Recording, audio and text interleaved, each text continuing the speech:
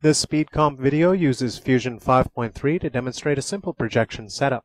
The artist holding the Wacom pen is Theodore, a freelance visual effects artist based out of London, England.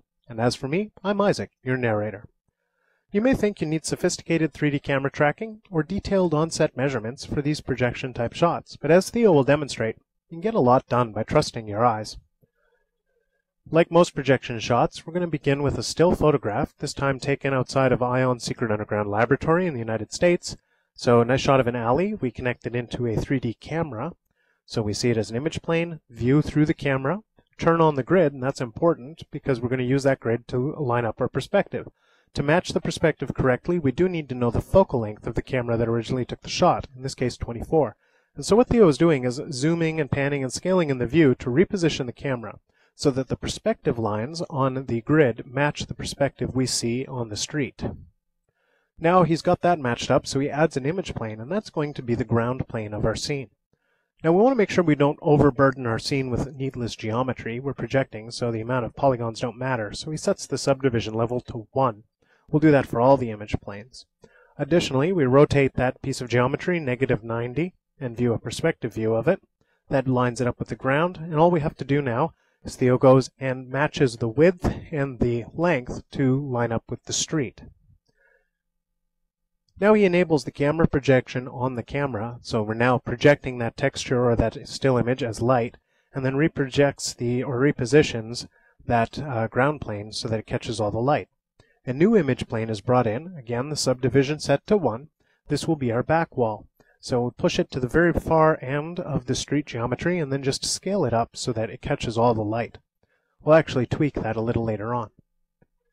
Okay, that's looking good, so why don't we bring in another image plane. This time that will be for the buildings on the left, and subdivision of 1 again. So what we want to do here is we want to place it on the left, so first we've got to rotate that 90 degrees on the Y rotation, and in the perspective view, We'll uh, push the uh, image plane all the way to the edge of the street geometry. Since Fusion scales all of its geometry from the center, Theo is just sort of predicting where the center is going to be once he's done scaling it up, and then he does his scale. And the trick is to just make sure that geometry is catching all the light that's in the scene. Alright, that's looking pretty good. A little panning to check that the bottom edge of the building lines up with the far left edge of the street. Then he copies that left wall, pastes it into the scene again, renames that to right wall, and then pushes it over to the right edge of the street for the other side. It's not quite right, so tweak, and now the bottom edge, where the garages are, lines up with the edge of the street. And at this point, we can probably bring that back wall in forwards a little bit. Perfect.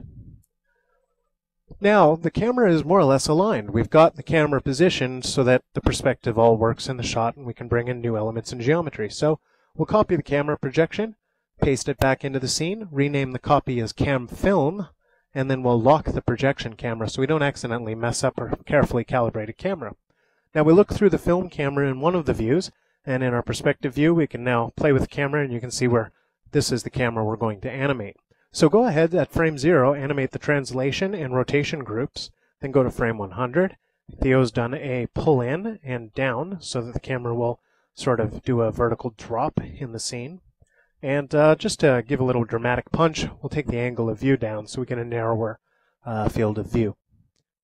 Okay, so playing that back, looks like we might be ready to drop that through a renderer and see what it looks like as a 2D image instead of a 3D scene.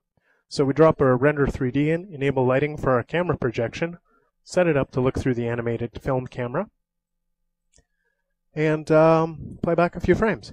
Looks like it's working okay, but it's also creating a 2K float image, which we don't need for this tutorial, so 1280 by 720 will do just fine. And uh, we'll create a flipbook preview.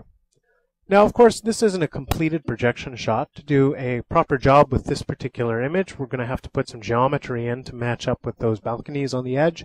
And of course, the garages, we could use them for the lip and that car in the distance. But we've got a really good start on it, and we've aligned that camera perfectly with our scene so that we can move forward. That's it for our speed comp. Thanks for joining us. Don't forget to tip your compositor.